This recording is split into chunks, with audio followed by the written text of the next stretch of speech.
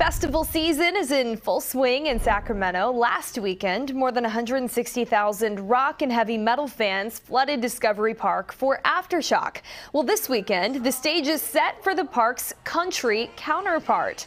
The Golden Sky Country Music Festival is in its second year. It kicked off today.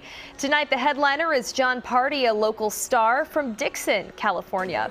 Now, this year, Golden Sky has the same number of stages and acts as last year, but it expanded its experience areas like the dance hall. It also added a beer festival before the Country Music Festival each morning. Now, more than 60,000 people are expected to attend through Sunday, and the festival already already announcing some big news for next year.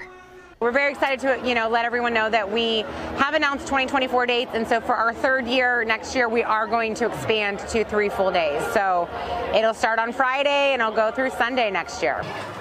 Passes are still available as the country music takeover continues tomorrow. The headliners Sunday are Eric Church and Parker McCollum.